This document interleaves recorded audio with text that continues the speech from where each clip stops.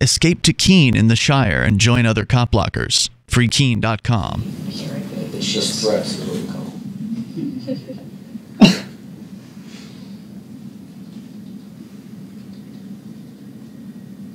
I remember growing up and hearing about the uh, countries all over the planet that they told us were evil countries. And the things that they did, that was the reason this government said that those governments were evil. Maybe top of the list was that people weren't free in those countries. And One of the things would be regarding threats against citizens who had not heard anyone. Kind of makes me think of what might be happening in this country here. And John, hey, John, if, if we can't keep the government transparent, then they'll be able to keep it up, right?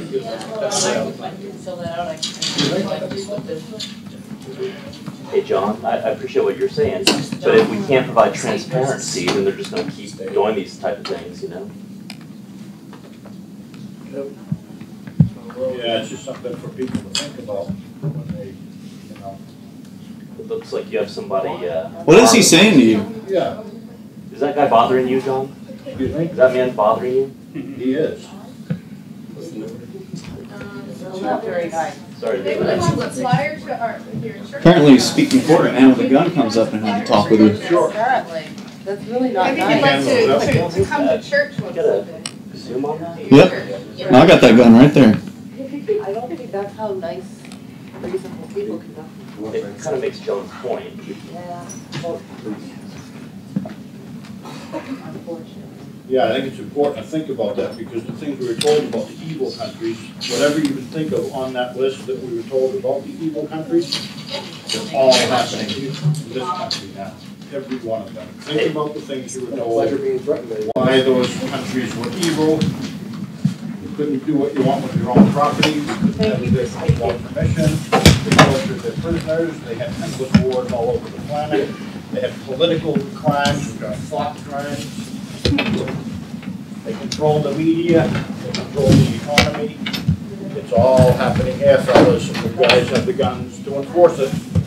You should think about what you're doing, what you're leaving for your children, your grandchildren, because it's happening in this country. You should be thinking about it, and you should be thinking very seriously about it. You guys are enforcing the same stuff that we were told happened in the evil countries, aren't we? Isn't it the truth? And you know it's the truth.